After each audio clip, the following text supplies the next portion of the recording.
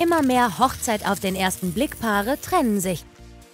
Im Rahmen der TV-Show matchen die Experten Dr. Sandra Köhldorfer, Markus Ernst und Beate Quinn Bewerber anhand mehrerer wissenschaftlicher Kriterien.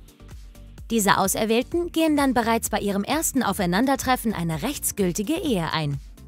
Beim Großteil der Teilnehmer läuft dieses Liebesexperiment auf lange Dauer aber nicht so rund. Denn inzwischen gehen fast alle Eheleute getrennte Wege. Promiflash blickt für euch auf die Trennungen der Hochzeit auf den ersten Blick Paare zurück. Erstens Samantha und Serkan. Die Steuerfachangestellte und der Einzelhandelskaufmann lernen sich 2019 im Rahmen des TV-Experiments kennen. Sie bekommen nach der Show sogar den gemeinsamen Sohn Kilian Koray. Allerdings hält ihre Liebe nicht für die Ewigkeit. Im Juli 2022 gibt Sam die Trennung bekannt. Ja, wir zwei haben ein bisschen Abstand gebraucht. Ja, wir sind alleine im Urlaub und ja, die Zukunft wird für uns alleine weitergehen. Und damit bleiben Sam und Serkan nicht alleine. Zweitens, Cindy und Alex.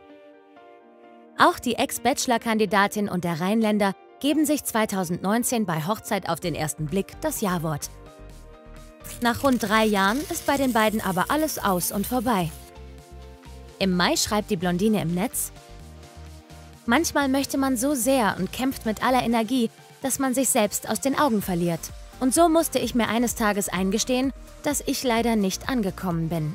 Nun heißt es für uns beide Neustart auf eigenen Wegen. Drittens Lisa und Mario. Die Baden-Württembergerin und der Landshuter begegnen sich 2021 am Set der TV-Show. Tatsächlich verstehen sich Lisa und Mario gut. Eine gemeinsame Zukunft als Paar können sich die beiden aber nicht vorstellen. Im Januar 2022 geben sie ihr Eheaus bekannt. Aber für mehr als eine Freundschaft hat es leider nicht gereicht, weil den letzten Funken, der ebenso, ja, die Liebe hervorbringt, ja, der hat leider trotz alledem gefehlt. Und dieser Funke springt auch bei weiteren Teilnehmern nicht über. Viertens, Selina und Michael. 2021 lernen sich die beiden bei Hochzeit auf den ersten Blick kennen und schweben sofort auf einer Wellenlänge. Allerdings zerbricht die Beziehung der beiden einige Monate später. Michael veröffentlicht im Dezember 2021 das Trennungsstatement. Wir haben lange gekämpft und alles versucht. Leider mussten wir feststellen, dass es für eine Beziehung bzw. Ehe nicht reicht, auch wenn ich es mir natürlich anders erhofft hätte. Aber auch wenn viele Ehen scheitern, vereinzelt glückt das Experiment dann doch. Annika und Manuel sowie Simone und Markus sind beispielsweise immer noch glücklich miteinander.